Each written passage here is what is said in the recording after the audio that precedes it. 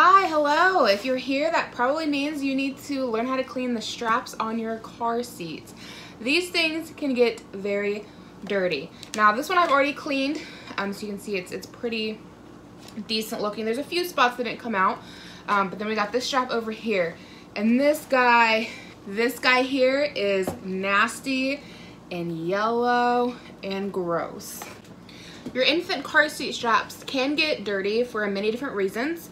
Mine has yellowed from storage. I'm not exactly sure why it went so yellow from sitting in storage for three years. We're not smokers, but judging by these straps, it sure looks like we are.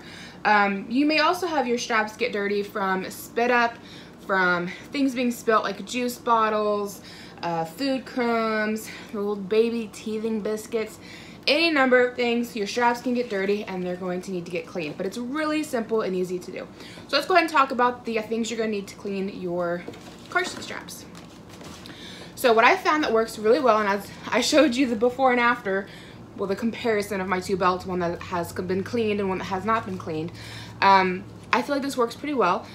I'm using an off-brand of the Mr. Clean Magic Eraser. Uh, I'm sure the Magic Clean Eraser would probably work even better. This one's just like the Dollar General store brand. And I also have a clean dishcloth right here just to help wipe everything down. And then um, you may also want a bowl so that you can rinse out your sponge. I'm really close to my kitchen sink, so I'm just gonna be stepping back and forth. But all we're gonna do is take this and start. Turn my car seat sideways. That's just so you guys can see what I'm doing. And then I'm going to take my Magic Clean Eraser that I have dampened with some hot water here. And I'm just gonna start scrubbing here on the car seat strap. And all of this will start to come off pretty quickly. You can already start to see on my sponge, it's starting to get really yellow and gross looking.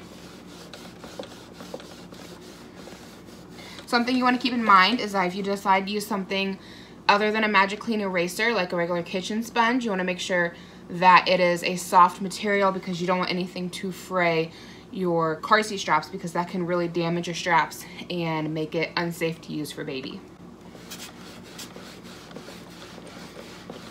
And then I don't know if you guys can see this or not, but there's like all kinds of stuff dripping down here. So I'm gonna take my kitchen cloth and I'm just gonna wipe it out to keep the base of my car seat clean as I go.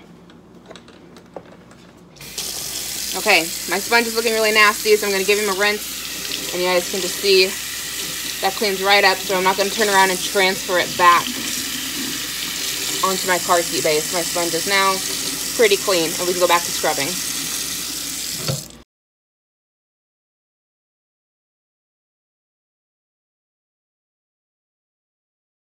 And you can already start to see the difference here. The strap is already starting to lighten up quite a bit from all the yellow junk that was on it. Okay, it's now the next day and my straps are completely dry and fairly clean as you can see by the photo I am inserting here. Um, again, it's not absolutely perfect. If yours are less stained than mine were, I'm sure you can probably get them completely clean. But I'm not upset with this at all. That's much better than it was. And it's a really easy way to clean your car seat straps. It also works for your um, straps here on your buckles. And if you need to clean your car seat buckles or your hooks, if you get spit up on these or food or anything like that, you can just take these off and easily wash them um, with the rest of your dishes. Like just do them in the sink with soap and water.